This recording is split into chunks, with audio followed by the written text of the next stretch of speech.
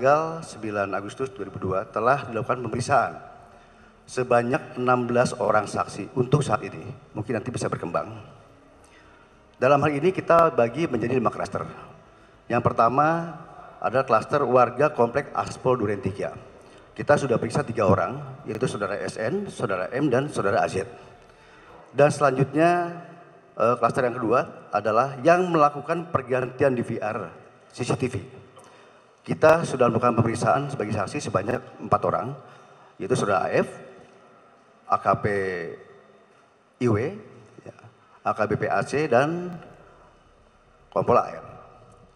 Dan klaster yang tiga adalah melakukan pemindahan, transmisi, dan melakukan perusakan.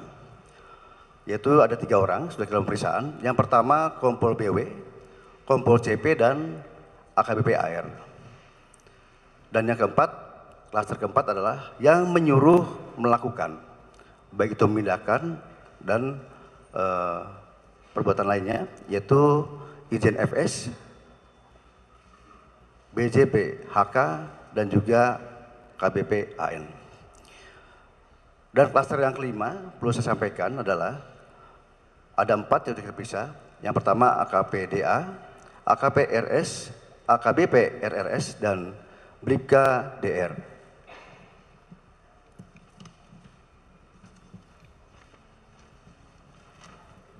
Adapun barang bukti yang sudah kami sita sampai saat ini ada empat buah. Yang pertama hard disk eksternal merek WD. Yang kedua adalah tablet Microsoft Surface. Dan yang ketiga DVR CCTV yang ada di Aspel Duren 3. Dan yang keempat laptop merek Dell mirip saudara, milik saudara BW.